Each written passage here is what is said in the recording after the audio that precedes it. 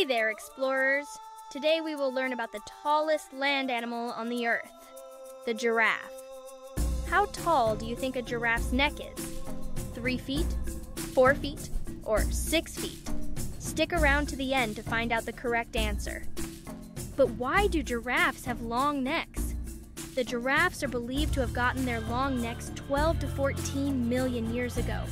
That period was very harsh and was dominated by dry, arid savannas. As vegetation decreased, competition for food increased. This meant the giraffe had a lot of competition for food from animals such as elephants and antelopes. The giraffe's necks never used to be so long, they started with short necks. Then giraffes continuously stretch their necks over time. The biggest conclusion is that the long neck are the result of generations of repeated stretching and inheritance.